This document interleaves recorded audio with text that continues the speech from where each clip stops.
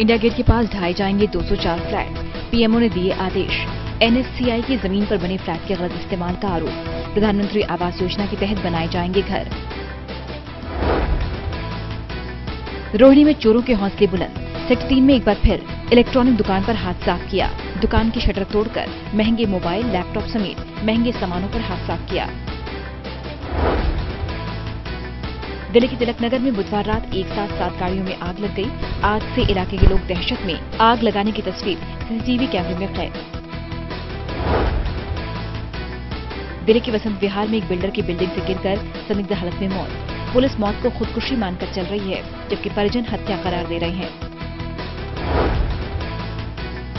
दिल्ली जल बोर्ड के अधिकारी की संदिग्ध हालत में मौत। साउथ कैंपस में कार में मिली लाश।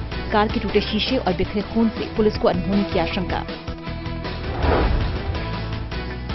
दिल्ली के द्वारका बाबा हरिदास नगर थाना पुलिस ने शराब की तस्करी करने वाले तस्कर को गिरफ़्तार किया। इसके पास से पुलिस को लगभग 38 पेटियाँ शराब जब्त हुई। दिल्ली के लोकनायक अस्पताल में पीने के पानी के लिए तरस रहे हैं लोग। मरीज़ के तीमारदार परेशान। महीनों से पानी की मशीन खराब है। अस्पताल प्रशासन लापरवाह बना हुआ है।